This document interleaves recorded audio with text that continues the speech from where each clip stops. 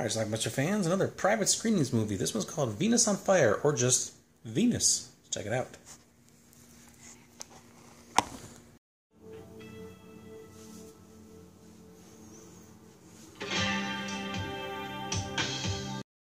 Alright, we start out in an advertising agency.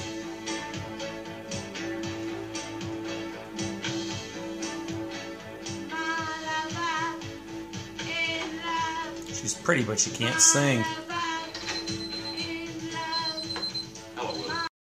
But then we're treated to a fantasy sequence where she gets down to her underwear.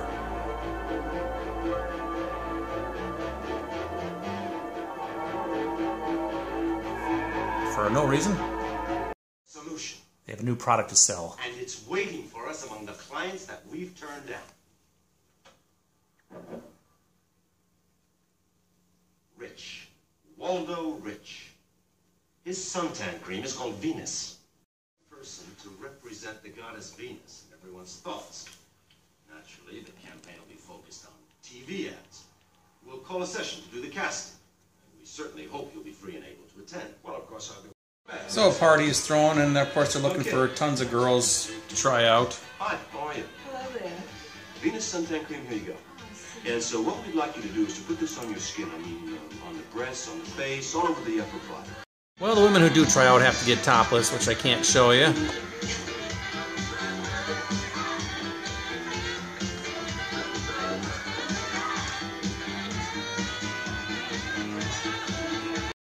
And for really no reason essential to the plot, two of the ladies decide to get together.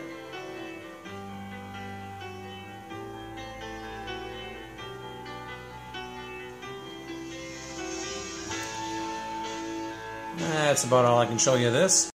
Anyway, they move the whole operation to Greece where they're gonna try out a few ladies. About the test tomorrow. Wouldn't it be possible to take the sequence from the first?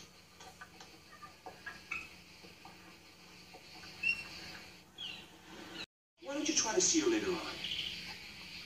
And what about Florence? Huh? Martha took care of the. No, oh, no, let me help you. They don't know who they're gonna pick. Besides the incredible sights of all the naked women in this movie, there are some actually great scenery scenes as well.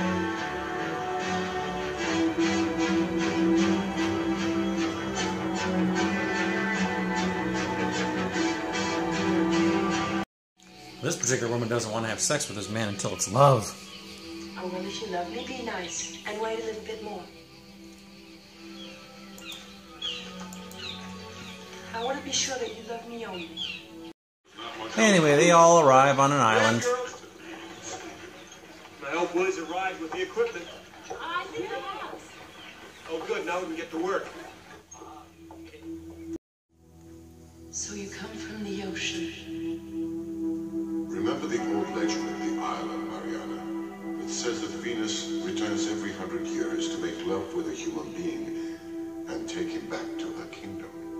So they shoot some parts of the commercial, trying out some ladies.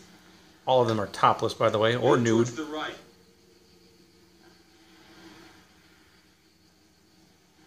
Venus loves your body. My first thesis. Ah, but who's talking about Aphrodite? We're speaking of Venus. Ah, it's the same thing, Mr. Lee. Is that right? Venus for the Romans, Aphrodite for the Greeks, and Astarte for the Babylonians. She's the same goddess? Of course, but she's also the daughter of Jupiter, the wife of Vulcan, and mother of Apollo. The next scene is hard to show. It's Venus rising naked from the water.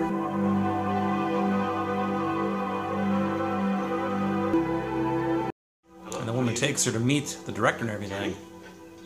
Please introduce your friend. I think I found a, a striking resemblance. Oh, I see you'll be late. Be right with you, Henry. Pleased to meet you. May I present myself? Waldo Rich. Please tell us your name. My name is Venus. Pardon? Venus. My name is Venus. No one else is happy to see her, though. There. That's what the agency should have sent us from the beginning. Charming little reflection. Let's go here. We have to sign up for unemployment. And as for you, thanks a lot for bringing us your little companion. Who is it? So, you saw this girl not a hair out of place just emerge from the sea? But I swear on the Bible, it's incredible. I was with Annie in the sun. Oh, that explains everything. The The sun must have gone to your head. Venus sees a bunch of statues of herself, which she doesn't appreciate. My dear sisters, Praxiteles. Only he was able to capture my resemblance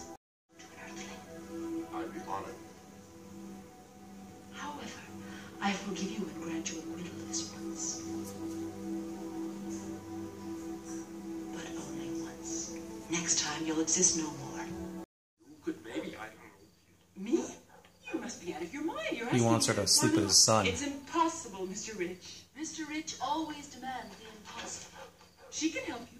I'm sure that Miss Venus is very talented in this domain. Venus is not happy with the suntan line using her name. Josh, what do you mean by that? In other words, I'd like you to give it up. I want you to take the name of Venus off your products. You must cancel your project. Every hundred years, the goddess Venus has the right to choose an earthling, to take him to her kingdom and make love to him.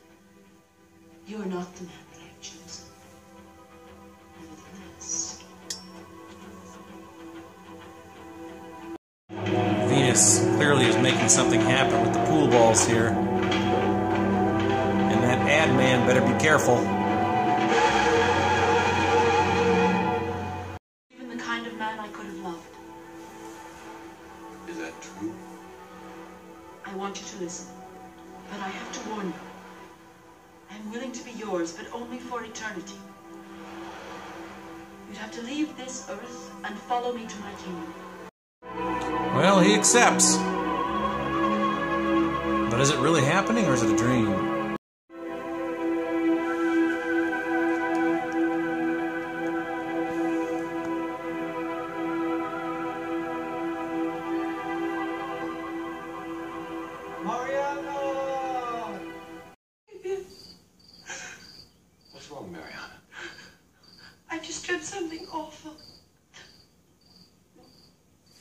Venus took you to the bottom of the sea.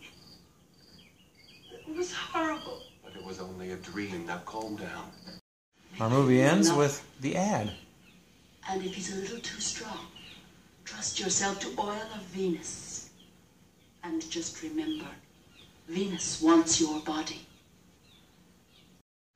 All right, let's talk about Venus on Fire, or as the on screen title said, Venus. In fact, no place says Venus on Fire other than the video box that Private Screenings put out in the late 80s. So, yeah, that's what this is. It was a VHS tape put out by Private Screenings. They did a lot of, um, you know, sex comedy, sex erotic thriller type stuff from overseas and slap titles on them. So, anyway, the original title I think is called just Venus. It's a French film uh, which takes place in Greece mostly. What we have here is an advertising agency who has to have this new product called Venus uh, suntan oil, oil or something like that, and uh, they want to get a Venus actress for the ad campaign. So they get a few girls together. Then they decide, you know what? Let's just move all this over to Fran- over to Greece and uh, do it there. So they go to Greece and they start um, shooting some takes of the commercial, trying different actresses out, that sort of thing. And then uh, one day, um, while this woman is sunbathing nude on the beach, suddenly she sees some woman rising from the water. Turns out this is allegedly Venus. Uh, she's come back from wherever she's come. I don't know. She has some underwater kingdom or something. So she's completely naked, coming out of the water. Cool scene. Um, and she rubs oil all over the girl on the beach. And then they take her back to the ad guys and they say, hey, check her out. And she says, my name is Venus. So they're like freaked out, like, wow, we're looking for a Venus and your name is actually Venus. You look like you might be perfect. So they decide maybe they should use her for the ads. Well, all the other actresses, of course, are jealous at this point because they didn't like that. Um, ultimately, though, Venus. Uh, she sees like statues of herself and everything, and she says, "This is horrible. I can't believe people did this to me." Blah blah blah. So she's like the real Venus, I guess. Um, and then she goes to the ad guy and says, basically, "I need you to cancel your campaign. I, I don't want to be associated with this." And of course, she thinks she's crazy. Um, I think she said something to the effect of, "I'm to make love to you, but it'll only be one time, and then you know, you, it's like the end of your life or something like that." Um, or you won't exist, I think is what she said after that. And then there was some sort of weirdness going on where they were playing pool and all the pool balls started going crazy, knocked a guy in the head and presumably killed him, but they didn't really say though. But anyway, ultimately, Venus goes up to this other guy named Fabio and says, you know, I choose you. I want you to uh, come with me to my kingdom underwater, leave everything behind.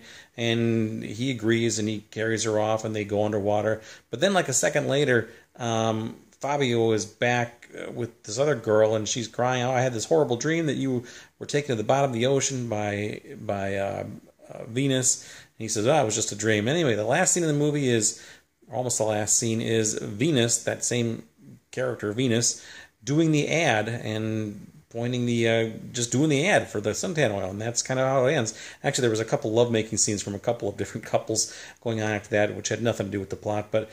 Other than that, that's the film. So I don't know exactly what was happening here. Um, this is an unbelievable showcase for completely nude women, beautiful, beautiful women too. Uh, actresses I never heard of, with the exception of one, a chick by the name of Florence Guerin. She's in this movie. She was in the movie Black Venus, which I reviewed on my old channel, which I'll be re-reviewing at some point on my new channel here. Um, but other than that, I didn't recognize anybody. Don't know any of these people are, but they look great without their clothes on. I got to give them that, right? So, and of course, that's exactly why this film was made. So anyway, not available on DVD, just VHS only, private screenings. Made some homemade box art here after I burned a DVD of this. And uh, that's pretty much it. So anyway, highly recommend it if you're looking for beautiful women to get naked. Um, obviously, this is not a pornographic film. It's uh, there's some soft core stuff going on, but that's about it. There's some lesbianism too, which is pretty cool. So it's a titillating film. What can I tell you? So anyway, check it out. Let me know what you think about it. If you, anybody ever seen this movie besides me, um, does have some good reviews on IMDb. Actually, the three people who reviewed it all speak fondly of it. So can't disagree with them. So check it out. Leave some comments. Watch it. Bye.